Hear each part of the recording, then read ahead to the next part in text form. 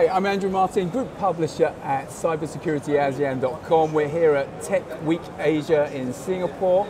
Uh, and I've got um, Yunus with me from Cloudnosys, who is the CTO at Cloudnosys. And we're going to have a little chat with him about the company and what they do and their proposition. So, uh, Yunus, thanks so much for joining us. Thank you for having me. Excellent. So, why don't we start just by um, letting me know or letting us know just a little bit about Cloudnosys and who you are? Awesome. So Cloudnosys is a full stack cloud security platform, mm-hmm. essentially helping you with your public cloud security as well as compliance related issues. Mm-hmm. But we don't stop there, we actually help you fix them automatically. So giving you more like a self-healing kind of a cloud in a, in a way. Okay, excellent. So it gives us like a high level overview.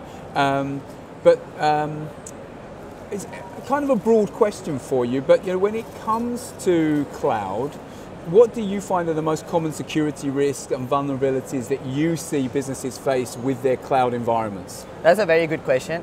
And most of the time, like when it comes down to cybersecurity as a whole, it's literally small breaches or small holes being exploited to make something bigger happen, right? Yeah. So similarly in cloud breaches, the same things apply, right? Most of the time it apply, starts from like, like your access control being overprivileged or you're not configuring things the, the correct way. Mm-hmm. Because the way public cloud works is it's a shared responsibility model, yeah. right? You have certain things you have to care about, and then there are some things that cloud has already taken care of.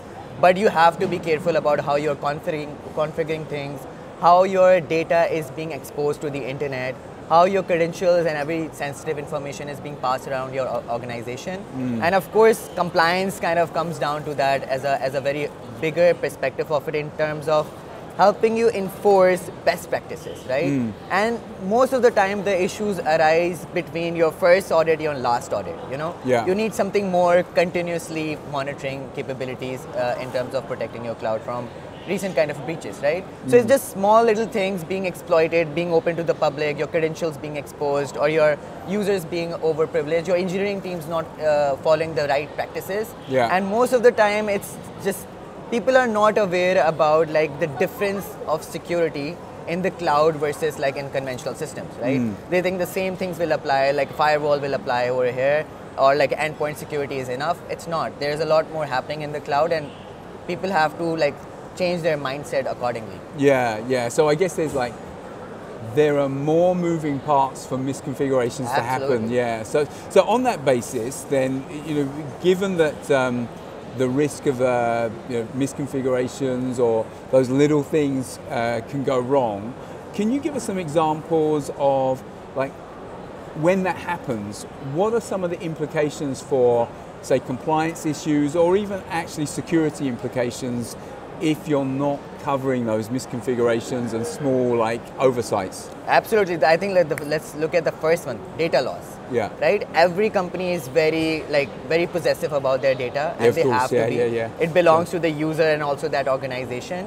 So I would definitely put data loss as one of the top ones that uh, that are kind of like the outcomes of your security breaches, right? Yeah. And then I think we can look at again your when your uh, your proprietary technology or your IP is being leaked out you the, your competitors suddenly have access to a lot more sensitive information about you as well mm. right? And and right now as per the compliance requirements as well if you face certain kind of a certain kind of a data breach you have to publicly declare it right? In mm. terms of GDPR if you think about mm. it. And if you face any kind of a breach you have to publicly talk about that. You have to publicly let your users know. And for a lot of companies that could be a death sentence.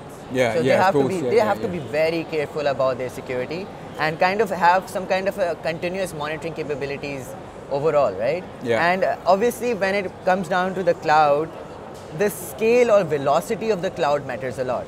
People are like companies are adopting cloud so fast, so they are making a lot more mistakes as they go as well, mm. right? So they need some kind of like a like a different like a guidebook that is putting them into the right order. They're telling their engineering teams, oh, you have to configure these things correctly.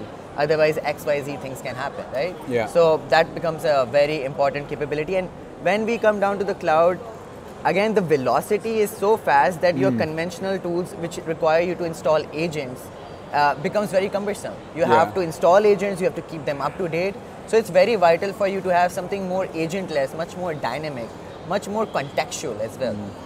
Okay, so I know that that that um, makes uh, a lot of sense, and I think uh, a lot of people struggle with that transition of understanding that the tools that they use for their on-premise security are no longer going to give them the same level of Exactly. protection in cloud. So maybe you can tell us. I know it's a, again a bit of an unfair question when you've got such a short amount of time, but how exactly does Cloud Cloudnosys help customers to solve this problem? Awesome. That's the best okay. part that I would like to talk Okay. about. So- So again, as coming down from f- full stack cloud security, Yeah. the idea again is to kind of be able to adapt to an organization Mm-hmm. rather than them having to adapt to us.